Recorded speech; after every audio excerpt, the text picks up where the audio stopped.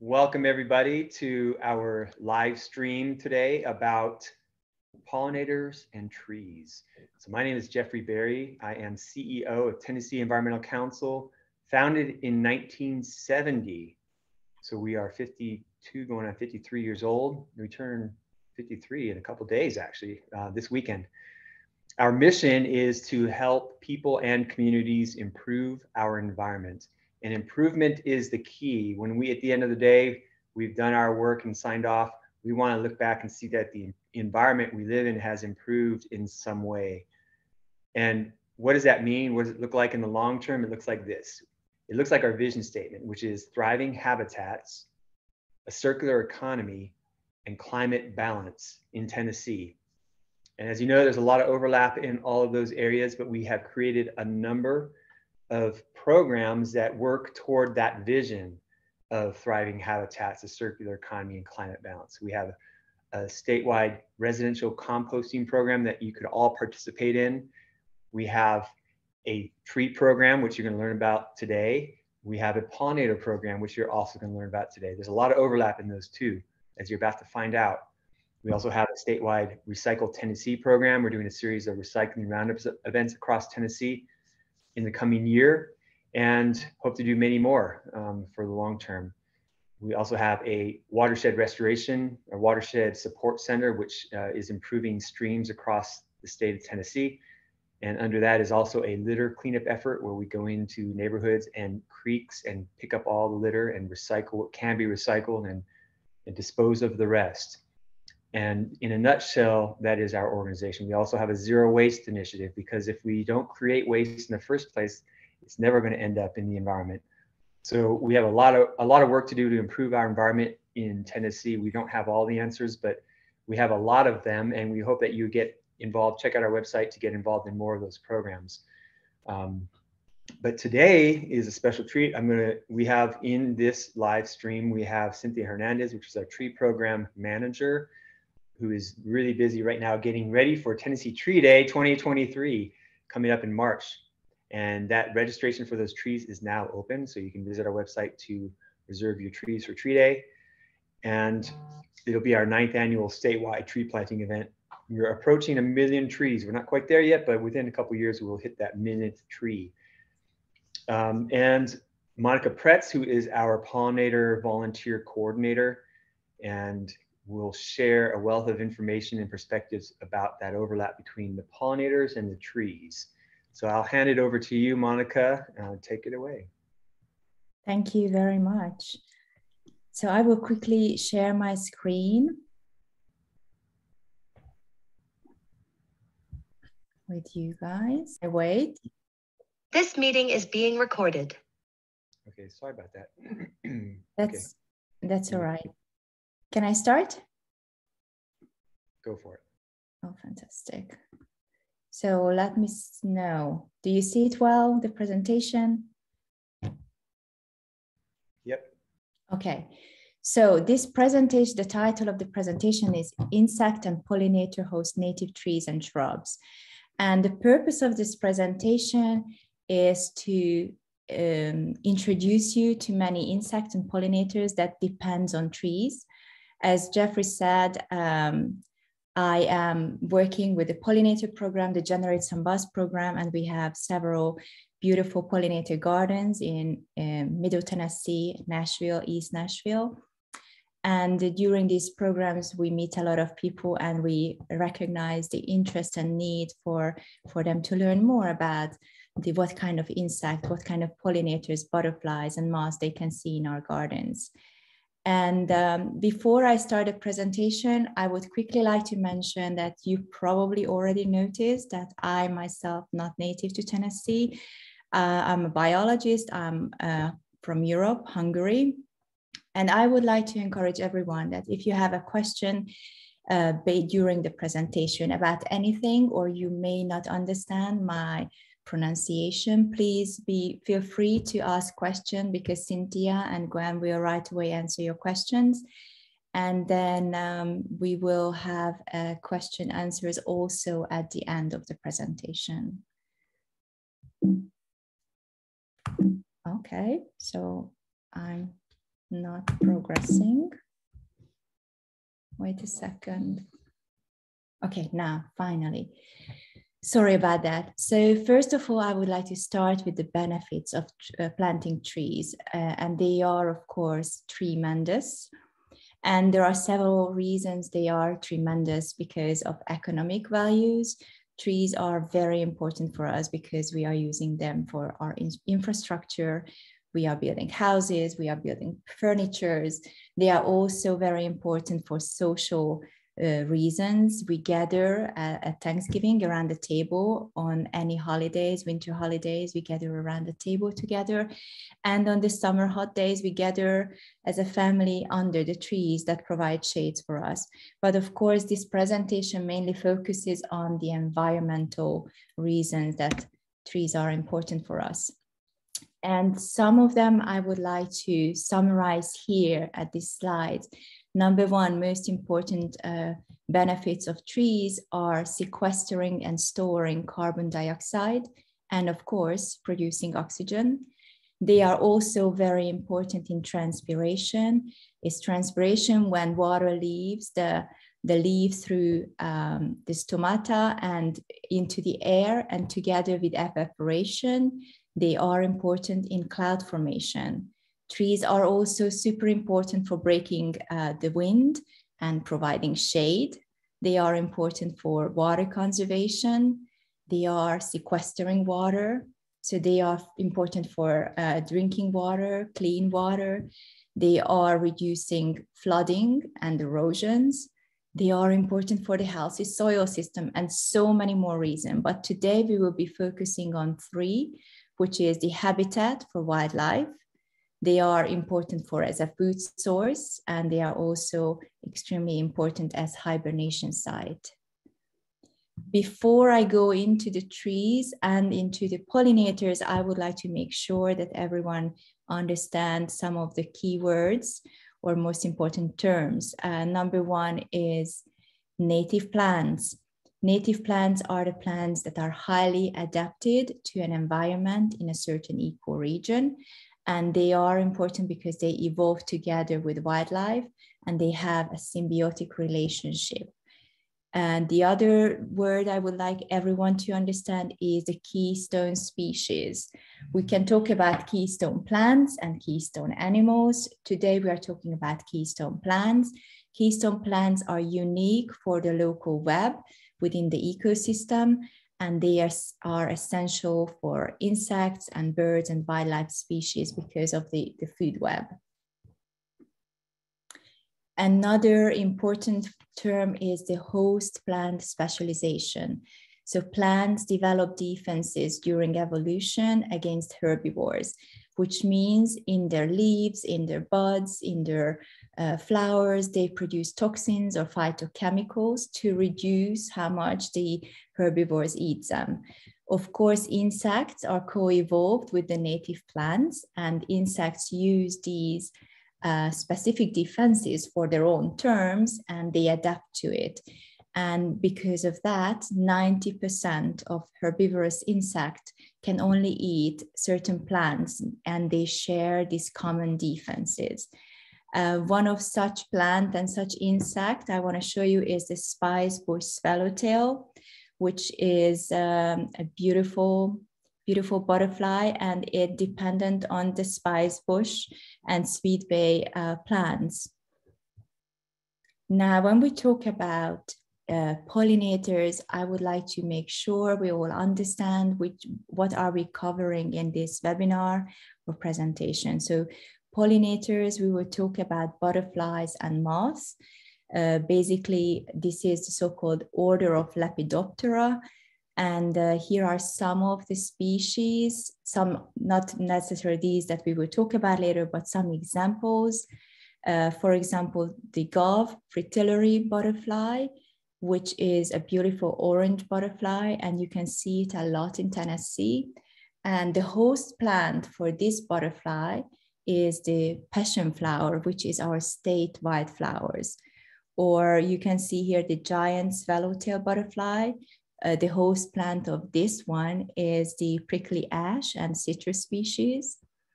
The hummingbird clearwing is a moth and it depends on the native honeysuckle species.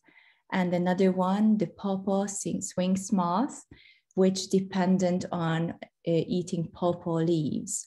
So these are definitely uh, examples of how uh, insects are dependent on, on native plants. When we talk about butterflies and moths, I want to definitely uh, clarify a few things about caterpillars. We have several uh, maintenance, pollinator garden maintenance events, and every time I have um, volunteers coming out, they enjoy the flowers, they enjoy the beautiful butterflies, and we try to identify different species. However, interestingly, I found it that a lot of people are afraid of caterpillars. And I like to tell people that you know the larval stage of a butterfly and a moth is a caterpillars, and they are kind of like the children of butterfly society. We depend the to have butterflies, to have moths, we need the caterpillars. So basically, the caterpillars, uh, you can see their development on the left side on, on the slide. And that's a monarch butterfly's uh, metamorphosis. And you can see on the top the egg that is laid by the adult butterfly on the milkweed plant. And the caterpillar will hatch from the egg and will go through a growth period and it will molt five times. Each stage is called instars, so it will go from first to fifth instar as it eats and grows. And then it will form a chrysalis or a cocoon. And um, you can see here the monarch butterfly has this beautiful green cocoon, uh, chrysalis, which when gets closer to hatching will turn transparent and the monarch butterfly will emerge. So caterpillars are important for the butterfly society as a children, but they are also important because they are herbivores. They are the converting energy stored in leaves into nu nutrients, animal protein, animal fat, and they are extremely important for birds, for food, and uh, for especially nestlings in the spring. Another group of pollinators that I would like to mention are the native bees. In North America, we have over 4,000 native bees. In Tennessee, 350 different species of native bees.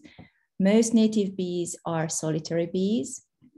And I would like to show you two different groups. On the top one, you can see the ground nesting bees uh, bumblebees, sweat bees, and mining bees, all ground nesting bees. Uh, bumblebees are social bees forming colonies of 100 150 bees, but sweat bees and mining bees are solitary bees. On the lower panel, you can see uh, plant stem nesting or cavity nesting bees.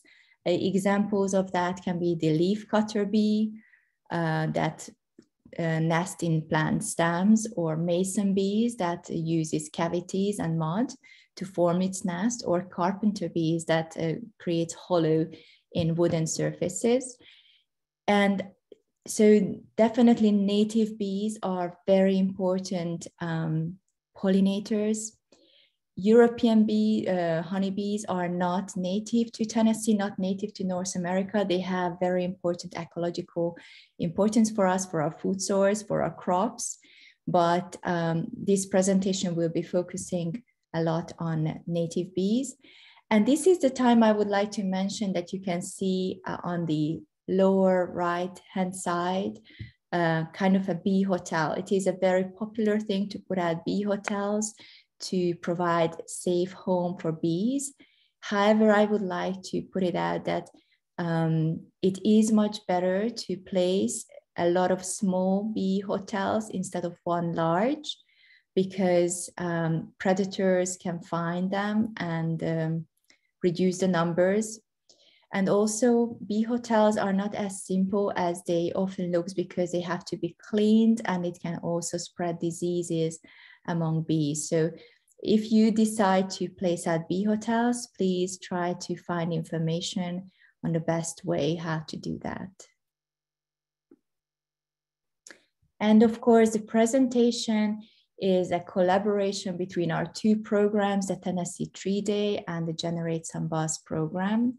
Tennessee Tree Day is our annual statewide tree planting event. This is the largest community tree planting event when the volunteers can pick up collectively bare root seedlings and plant uh, these seedlings. And this year we planted over 80,000 uh, uh, trees and we are hoping for even more for 2023. And this is the list for the Tennessee Tree Day for next year that the, all the trees that you can register for if you go to our website. and uh, some of this uh, tree, you can see an asterisk behind the name of the tree. Those trees will be distributed only in certain locations. Uh, you can find that whenever you register and you find the nearest locations to you, which trees you can get at that location. And basically, this is the list white oak, cherry bark oak, flowering dogwood, eastern redbud, persimmon, tulip poplar, Virginia pine, wild plum, black cherry or wild cherry, pecan, indigo bush, elderberry, and button bush. So the first tree that we are distributing is the oak trees. We have two oak trees this year, the white oak and the cherry bark oak. Uh, oak trees are canopy trees and um, we have 20 different oak species in Tennessee. And interestingly, oak trees are only on the northern hemisphere but they are the most important keystone species of North America. And the reason for that is because they have enormous wildlife value. Oak trees are supporting over 500 different species of Lepidoptera. But furthermore, the leaf buds and acorns feeding a lot more birds and mammals. So they, hey, hey can you um, define the lep Lepidoptera, what are those? So Lepidoptera is the order of Lepidoptera contains the um, butterflies and moths. Yes, thank I you. will mention that several times. So thank you for asking that question. So, so about oak trees, one more thing I want to say, because it has such a huge wildlife value, I think it is uh, said that if you cannot plant anything else, plant an oak tree because the benefit of planting an, an oak tree is just really tremendous.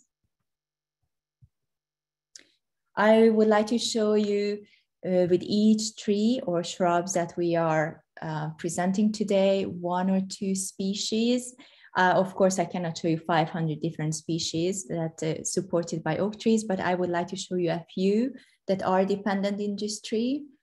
Uh, number one is Polyphemus moss. It's a beautiful, large, giant silk moss, which has uh, two small eye spots on the forewing and two large eye spots on the posterior wings. You can see the caterpillar on the top on the left-hand side and the caterpillar, when it reaches uh, an instar phase, uh, it will form a cocoon from the leaf of the oak and it will woven into with a silk cocoon. And the silk cocoon will overwinter on the top, um, on the leaf or on a uh, stem, not stem, a branch, sorry. And uh, sometimes these uh, cocoons fall down into the floor together with the leaves. So it's very important to save the leaves because the, you can find the polyphemus moss cocoons among the leaf. Even if it falls down, it's perfectly safe until we disturb the environment.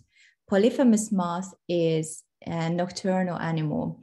So if you want to protect polyphemus moss, one of the best thing that you can do is to put up motion detectors on your lights. Unfortunately, um, these moths and many other moth species are just um, attracted to our lights and they will keep on flying towards it until they die of exhaustion or they are eaten by spiders or other predators. So these are the ways to, pro to, to protect polyphemus moths. Um, another beautiful species that I would like to introduce is the banded hairstreak butterfly. Uh, this is a pollinator. It loves our wildflower gardens, and uh, but it's depend on oak trees. Banded hairstreak butterfly will lay the eggs on dead fallen oak tree leaves, and the eggs will overwinter, survive the winter on the oak leaf, and the oak leaf will provide the first food source for these butterflies. So again, saving the leaf, leaving the leaf is very important. Juvenal dusky wing is another pollinator. I wanted to show you how beautiful the wings can camouflage into the tree trunk. And the last uh, for this, uh, for the oak is the great purple hairstreak butterfly that I wanted to show you, which is a little bit special. It is the largest hairstreak butterfly and uh, it is dependent on oak tree, but not oak tree itself, but all the um, sorry the oak mistletoe. So the oak mistletoe dependent on oak, and this butterfly is eating the leaf of the mistletoe. Uh, the mistletoe itself is a hemiparasite, so it can uh, uh, photosynthesize, but it cannot uh, get the water. So it uses the oak and uh, extract the water from the xylem of the oak. Uh, so another very interesting um, butterfly. Uh, the second tree that I would like to talk about is the flowering dogwood. It's an understory tree. It supports 126 different caterpillars. So again, a very important keystone species. The flowers of flowering dogwoods are white or light pink, and it has a fruit or berry that is loved by many birds. Um, this, the flowering dogwood is host plant for the spring azure butterfly, which is a pollinator again. It's a small, beautiful azure uh, blue butterfly and we have seen it several times in our gardens, in our Stratford STEM High School. Uh, and it is a very interesting butterfly because the caterpillar is eating the leaves and also the flowers of uh, the flowering dogwood. And as you can see on the picture, there is a little ant on the top of the butterfly. Oh sorry on the top of the caterpillar. Ants can be very vicious predators of caterpillars. However this caterpillar create uh, develop mutualism with the ant which means mutualism is a form when it's beneficial for both species. And the caterpillar will create a sugary sap a honeydew which the ants will enjoy to eat and it will turn from predator into a bodyguard. Uh, the other insect I would like to mention is the Cecropia moth. Cecropia moth is the largest uh, moth of North America. It's an absolutely stunningly beautiful moth. Unfortunately, numbers are de decreasing. And um, same way like the uh, polyphemus moth, the cocoon is formed uh, with silk and the leaf of dogwood. And by protecting the fallen leaves uh, and protecting the cocoon, you can protect these beautiful moths. Another flowering tree is the eastern redbud. Eastern redbud is an understory tree and it is supporting uh, early pollinators as it is one of the earliest flowering tree. Uh, it also supports 24 different caterpillar species and loved by many bees. You can see bumblebees, but many native bees enjoy the um, incredibly high number of flowers that this tree provides. The other bee species that I would like to mention are the, the leafcutter bees. Um, if you have uh, redbud uh, trees, uh, you can notice it very early in the spring when the leaves are appearing that the, there will be circular cuts on the leaf. And uh, the funny story that uh, this spring we we planted some uh, redbud trees and my husband noticed these cuts on the leaf and he was like oh something is eating our redbud tree. And i was like yes we have to be happy because it means the leaf cutter bees are coming to to collect um, nesting material.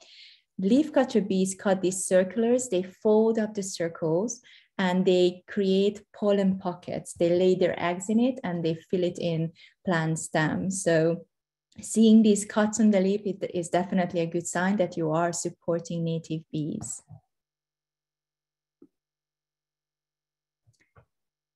So a beautiful flowering tree and with an edible fruit is the persimmon. Um, persimmon fruits are ripening in late fall Usually they are the best after the first frost. Uh, I had the pleasure to eat persimmon this time, first time in my life this fall. It's really lovely. It has a very high fiber content. And uh, persimmon trees are uh, supporting 45 different species of butterflies and uh, moth species. And as you can see, it also on the flower also supports a lot of um, bees, native bees, and it has a very high honey nectar value as well. Um, you can see an ant on the flower on the left uh, corner. And this is, I think, a good time to mention that um, beetles and flies and even ants can be pollinators as well. Um, persimmon is the host plant for Luna moth. You can see on the right-hand side of the slide, the Luna moth, a very fragile, beautiful, elegant looking moth. The moth itself has a reduced mouthpiece and it doesn't eat, but the caterpillar eats the leaves. And um, I would like to mention that the caterpillar has uh, developed a method to scare away predators. It will create a ticking noise and if that's not enough, then it will vomit uh, the stomach content up, which is very uh, useful because uh, persimmon leaves contain flavonoids and terpenoids. So it will deter the uh, predators. The next tree is tulip poplar or tulip tree. And this is again a tree that is special for us because this is our state tree. Uh, it is uh, tulip poplar is important for bees and hummingbirds and butterflies. You can see our ruby-throated hummingbirds enjoying um, this tree as well. It is a major honey plant. So it is for um, the honeybees also an important plant and it is the host plant for the eastern swallowtail butterfly. Eastern swallowtail butterflies, uh, the female, I think this is a female, are a little bit larger, more colorful than the male. And the caterpillars has a black, yellow, and blue eye spots. And interestingly, whenever they are scared or uh, attacked by predators, the eye spots get really large and they um, mimic or try to look like a snake. So try to scare away the predators.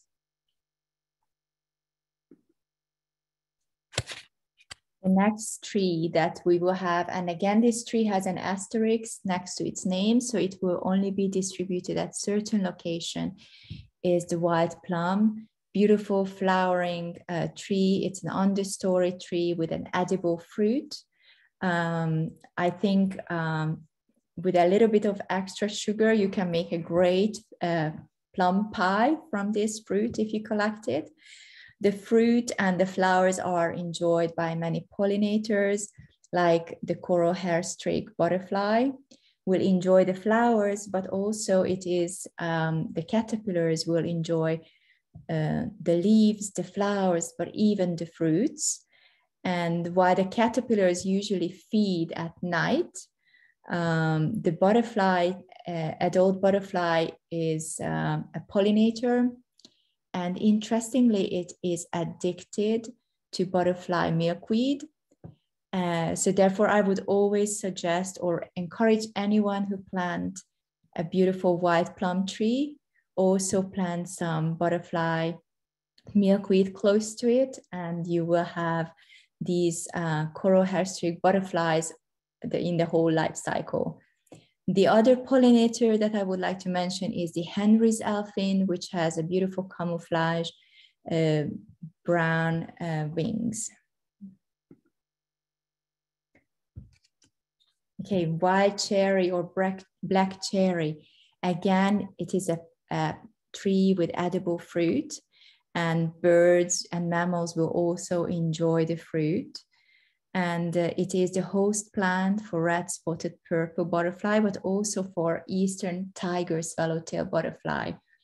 The red spotted purple butterfly is very interesting because while the butterfly itself is, is stunningly beautiful with bright, beautiful colors, the caterpillar itself is really not that pretty and it actually mimics the uh, bird poop or dropping to try to hide from predators.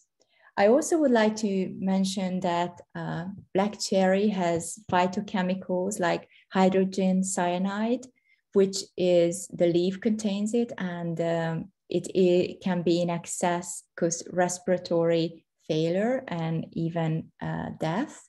However, this little caterpillar is able to eat it and digest it and use it for its defenses which is pretty unbelievable, I think.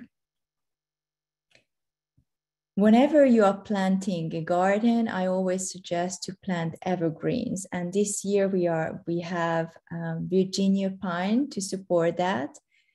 Um, it, it is host plant for imperial moth and eastern pine elfin. And the reason to have um, evergreen trees is not just for us to have something green in the in the winter time but it is a great hiding place and nesting place for birds throughout the whole year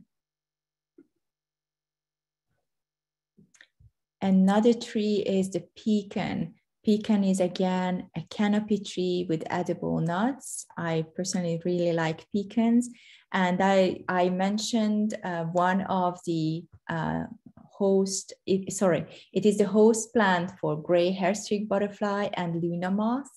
I have mentioned the Luna moth before. However, I would like to mention now the gray hairstreak butterfly, which is a pollinator. So planting pecan will support this little pollinator. And if you look at the picture on the right-hand side, you can see that it has a little antenna looking uh, structure on the hind wing. And the reason for that is a so-called automimicry. So gray hairstreak butterfly um, developed automimicry against its own head.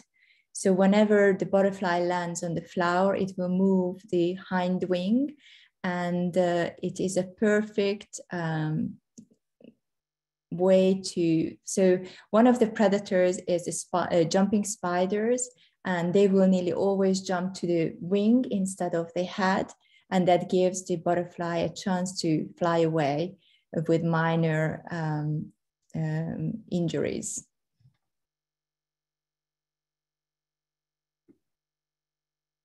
And now I would like to move to some of the shrubs that we have this year. Uh, a beautiful loose airy shrub is the indigo bush.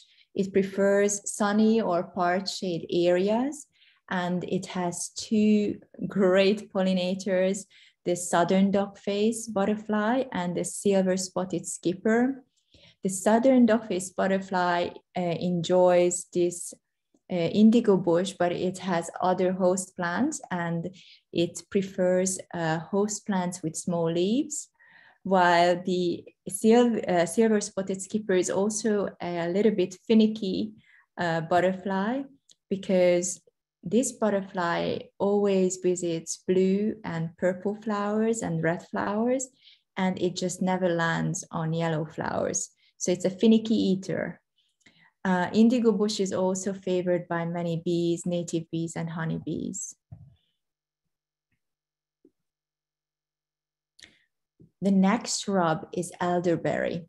Elderberry uh, loves full sun and moist soil And this is a, a herb, uh, sorry, it's a plant with uh, medicinal uh, benefits and edible herb. Um, back in Hungary, where I'm coming from, we use the flowers to make a wonderful, refreshing drinks in the summer. Basically, we cut off the flower heads, we put it in a jar of water, we add some honey and lemon juice and keep it in the fridge for a day. And next day, it will be a wonderful, cold, refreshing uh, drink. I, I highly suggest anyone to try it. Um, but I also saw recipes when uh, the flowers are fried. So I guess in southern uh, region, frying is is very popular. So that can be suggested too. Uh, elderberry is important for for bees, not only as a food source but also as a nesting material. Elderberry has hollow stems, and that hollow stems is a perfect uh, nesting area and overwintering site for for uh, bees. And um, whenever you cut off, for example, the flowering parts, you create the opening for these stems, and that's a perfect place for bees to get in. Um, elderberry is the host plant for spring azure butterfly that I have mentioned earlier with the mutualism to ants. And also the fruits of elderberry will definitely bring a lot of birds into your garden. Uh, cardinals and grosbeak and many more will enjoy and many migrating birds will enjoy uh, this fruit in your garden. And the last uh, shrub that we would like to mention is the buttonbush. This one again has an asterisk next to the name, so it only be will be distributed at certain location. Please check if your location has this plant if you want this. It is a shrub that prefers moist conditions really close to bogs and ponds. Buttonbush is often called a butterfly magnet because butterflies land on it all the time. They really enjoy the flowers. Uh, and I show you here the queen butterfly. It's a beautiful orange butterfly and it looks a little bit similar to, to the monarch. So I wanted to show you this beautiful butterfly. But uh, buttonbush is also host plant for the Titan sphinx moth that you can see on the upper left side. Okay, finally, I want to show you two trees uh, that we do not have at this tree day in 2023. However, I would like to encourage anyone who is interested in to plant these trees in their yards because they are beautiful and they are important for us because they provide food for pollinators. The number one is pawpaw tree.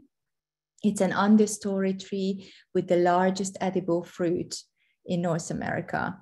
And one of the uh, pollinator that eats it and relies on this plant is the zebra swallowtail. The zebra swallowtail is the state butterfly of Tennessee. So if you want to support the state butterfly of Tennessee, please plant zebra swallowtails. And the phytochemicals in the pawpaw tree are acetogenins, and it's in the sap.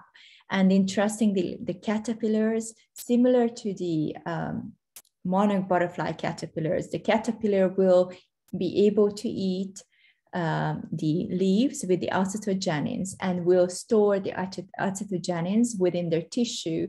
And because of the bitter taste, it will deter the predators. Another um, pollinator, sorry, another uh, Lepidoptera species, it's a moth, is the pawpaw sphinx moth that also eats the leaves of the pawpaw tree. So if you're planting pawpaw, these insects will definitely enjoy the tree. And the last tree that I would like to mention, but again, we do not have this tree, but I wanted to show you to encourage planting is black willow. It's a beautiful native willow tree that require, um, requires wet soil, so it prefers to be along streams. And it is an important supporter of bees and hummingbirds. Um, you can see here a female uh, ruby-throated hummingbird, but it is, and also a humming um, sorry, it is also a host plant for viceroy butterfly. Viceroy butterfly is very similar looking to the monarch butterfly. So I wanted to show you this beautiful orange butterfly. It's slightly smaller than the monarch and the most distinguishable feature is that on the posterior wings indicated by the red arrow, there is a black line. So that's how you can distinguish it from the monarch. Viceroy butterfly also has a caterpillar that mimics uh, bird droppings, and that's how it hides from predators. So I told you about the trees and the pollinators that you can expect in your gardens if you plant these trees. But there are, of course, other ways to support pollinators in your garden. The most important part is, of course, to plant in so high diversity native plants, native trees, shrubs, and even a pollinator garden. And of course, remove invasive species, which means invasive species, if they are in your garden, they occupy the space and they do not feed any of our native pollinators. So the best really to remove them. Uh, to support the pollinators, it's always good to offer drink for pollinators. We had an extremely hot summer this year. And by placing a shallow bowl in your garden with water is a good way to help them. I would also suggest to maybe put some pebbles in the water so it provides an easy landing site for butterflies and bees. Most importantly, avoid using insecticides and herbicides. Insecticides and herbicides can be um, can harm our pollinators directly, indirectly. It can also harm their nesting sites if they are herbicides on the ground will disturb uh, bees, uh, ground nesting bees, for example. But also for ground nesting bees, it is important to avoid ground cover. Landscaping fabric will not allow bees to find their home in our grounds and also mulching will disturb the bees and they will leave the sites. Other way to support pollinators are to, and one of the most important as well is to leave the leaves. This is the fall. Leaves are habitat. Uh, I showed you a lot of different pollinators and insects that overwinters as, as eggs, as caterpillars, as, as a cocoon. Uh, but there are butterflies like the uh, mourning cloak butterfly, which uh, overwinters among the leaves as an adult butterfly so it is very important not to burn your leaves because then you are polluting the air and burning the insect that are hibernating and feeding on the leaves. Don't put your leaves, the collected leaves, into the trash. Our landfills are, are full. We are facing a, a landfill crisis and the leaves sent to landfills will create uh, methane as they uh, decompose anaerobically. Um, a lot of people collect the leaves and place it in bags. And those bags, most of the time, go to uh, composting facilities.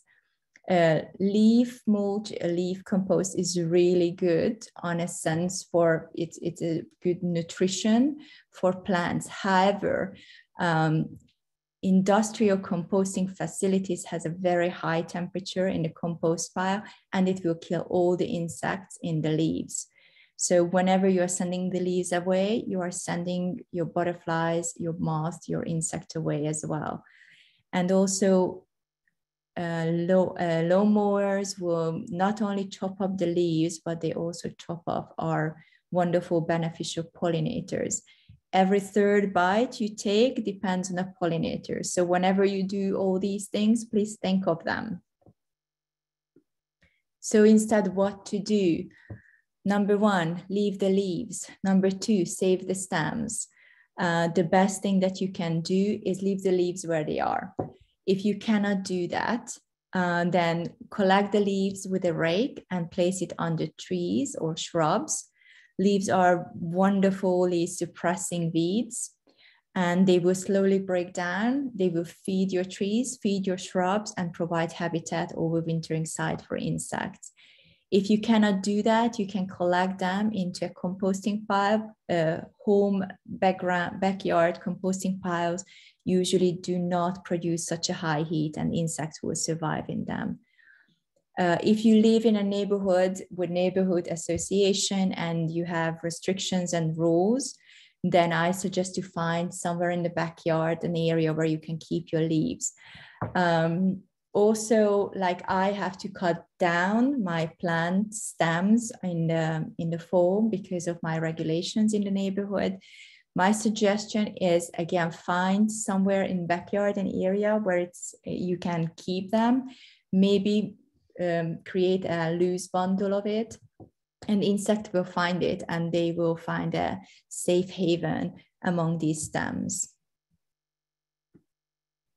And finally, I want to mention that when you are doing all these things, you are creating a healthy, balanced habitat.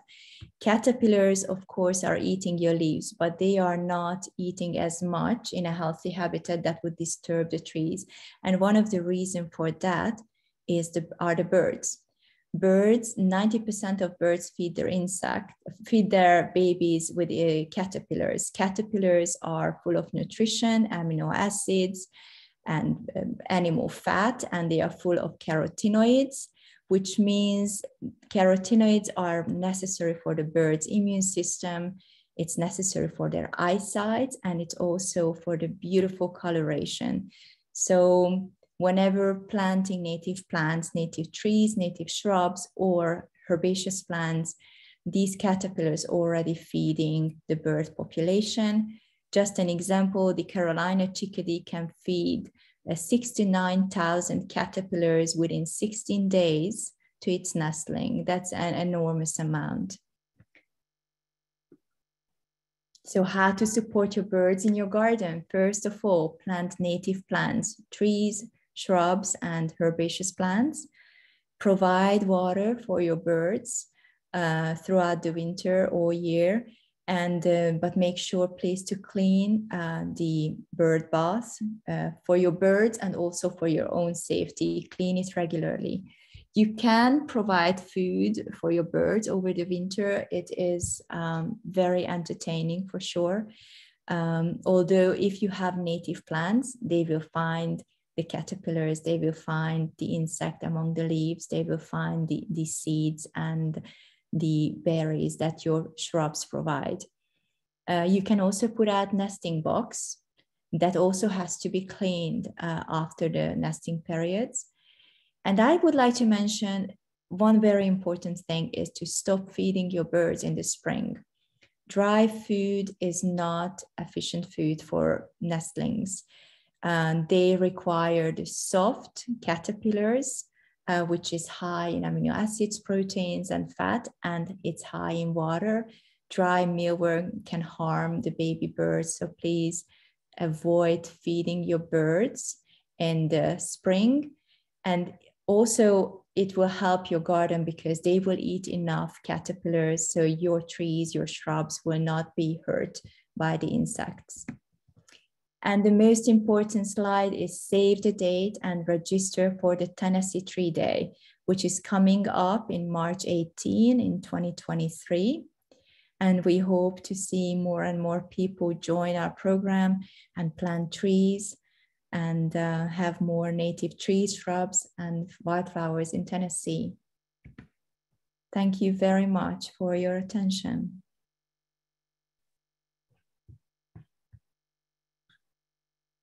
Thank you, Monica. That was excellent. It's nice to see the benefits that we often don't think about from the trees that we are distributing for Tennessee Tree Day.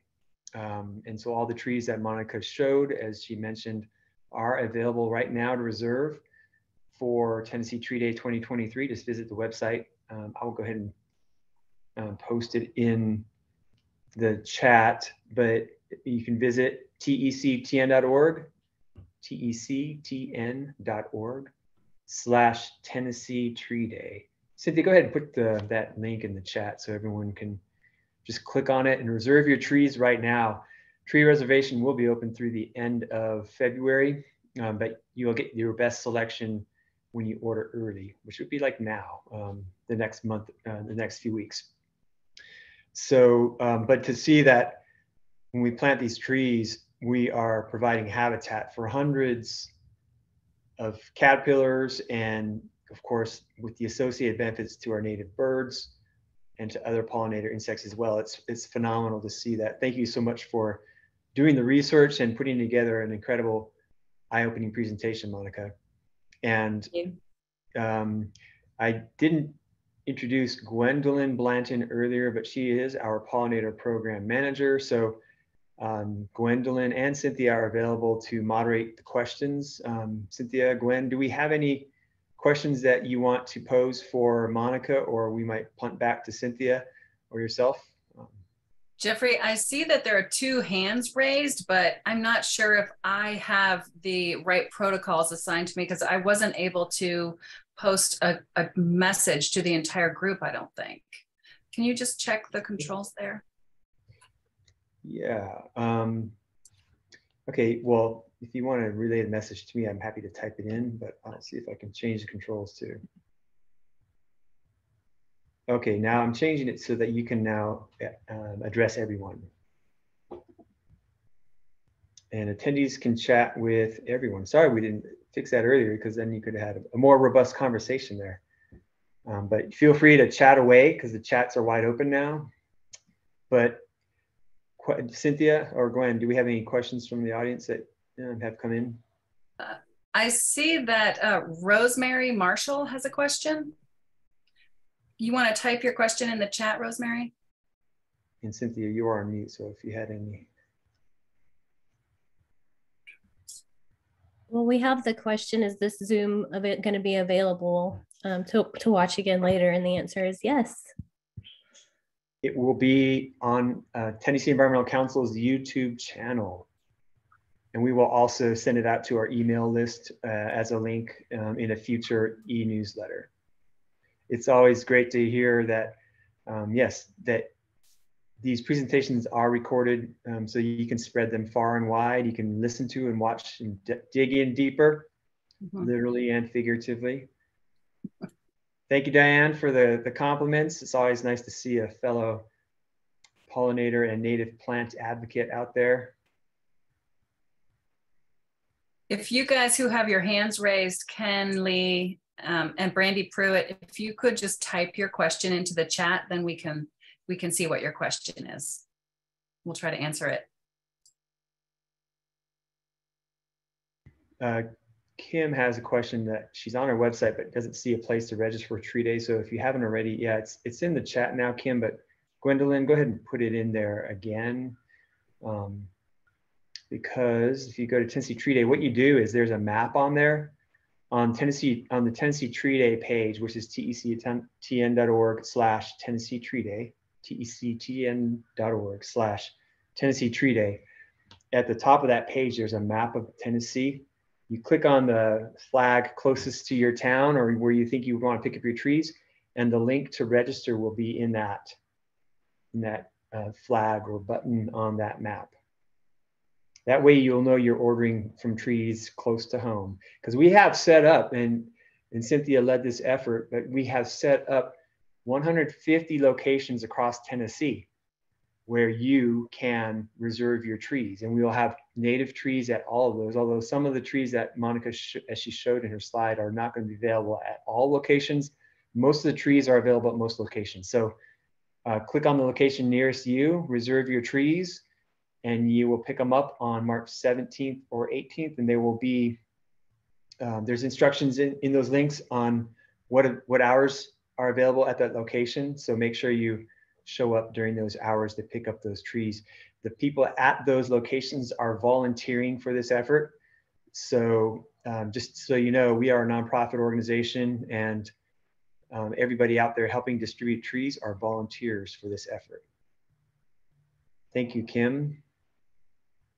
I do see a question here from Anonymous. Um, and it is, can we get a detail from Monica's presentation to share with the people picking up trees? Um, and I think that we could probably share this web um, live stream webinar on our Tree Day page. The same one that Gwen just posted, tectn.org forward slash Tennessee Tree Day.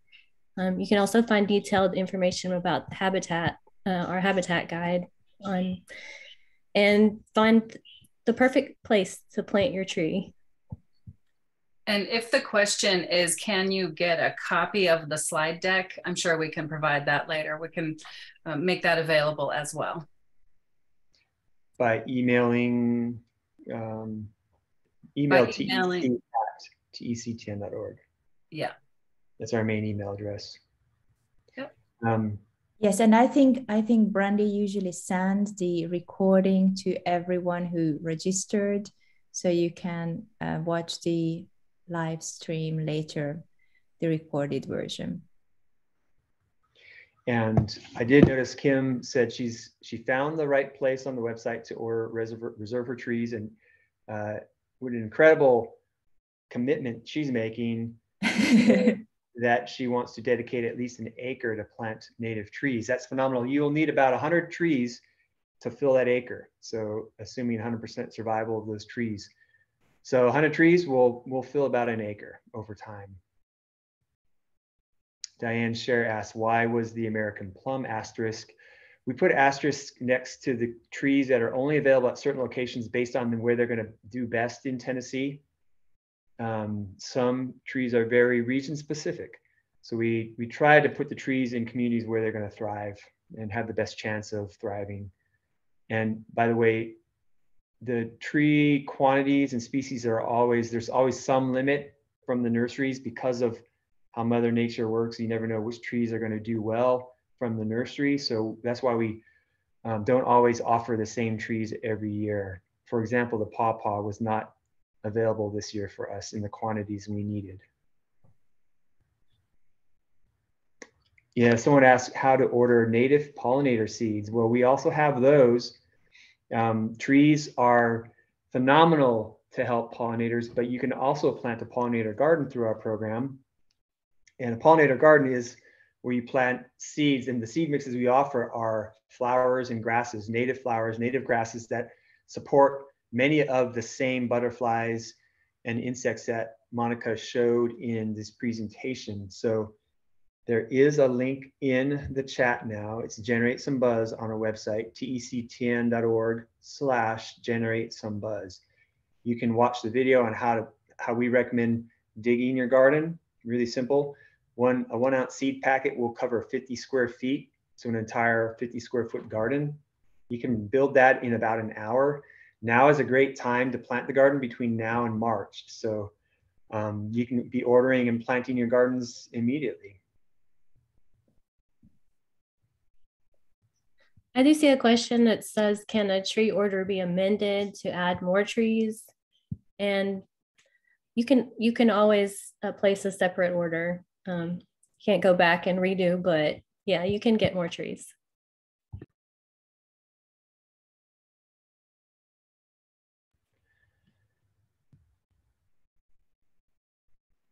And I put the link for the generate some buzz um, into the chat, but it's tectn.org forward slash generate some buzz for those pollinator seeds, native pollinator seeds. So um, I, I always appreciate seeing people show up at our live cast or live stream events to learn because we know that you care and that you're going to go out and do something with that caring to help our environment, to improve the environment in Tennessee. Planting trees, planting pollinator habitats, is one way you can make a difference that you get to benefit from as well, because you get to see the plants grow over time and you see the beautiful pollinator insects and other species show up uh, when those plants mature and bloom in the spring and the summer. And it's, it's a be- beautiful thing to witness those butterflies and birds show up in the garden and in the trees. So thank you all for being here. And yes, when once this is posted on our YouTube channel, which should be by the end of this week. We'll also send it out to our email list. Like I said, the link to watch that video. Then you can share that video with as many people as you want uh, so that uh, all your friends can help spread this message and plant trees for Tennessee Tree Day 2023, which is, as we know, to be the largest community tree planting event.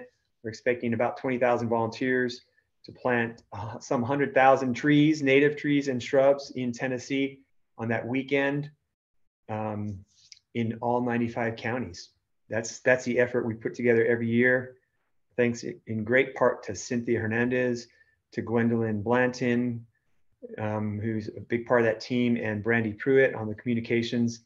And of course, thanks to Monica Pretz, who is a more recent addition to our team, who has been helping us plant those beautiful gardens at Stratford STEM and Cornelia Fort and other locations in Nashville and Middle Tennessee.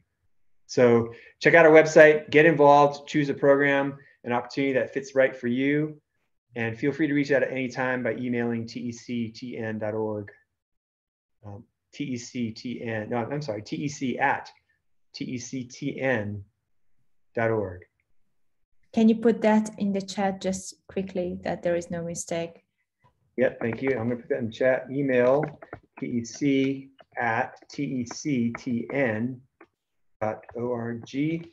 It's in the chat. Grab it now. If there are no other questions or comments, I'll go ahead and end the recording. Thank you for everyone who joined. Thank you. Happy holidays, everybody. Happy holidays. Happy holidays. Happy planting.